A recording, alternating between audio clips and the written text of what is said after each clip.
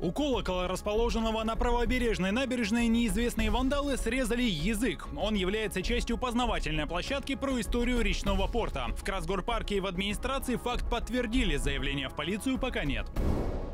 Красноярец оставил часть жителей Октябрьского района без холодной воды. Он грейдировал землю под дом в районе проспекта Свободный, 77 и прорвал присоединение к магистральному трубопроводу. Утром местные жители решили самостоятельно заняться ремонтом труб и окончательно вырвали соединение. В результате проблемы с водой были у жителей Ветлужанки, Ботанического, Северо-Западного микрорайонов.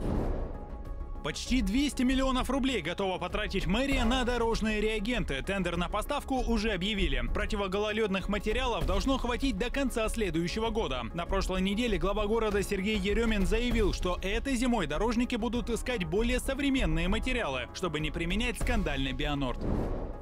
После пары теплых дней погода в Красноярске испортится. Солнце и до 24 тепла синоптики обещают только сегодня и завтра. Со среды пойдут дожди, температура воздуха будет постепенно снижаться. И в выходные столбики термометров не поднимутся выше 10 градусов.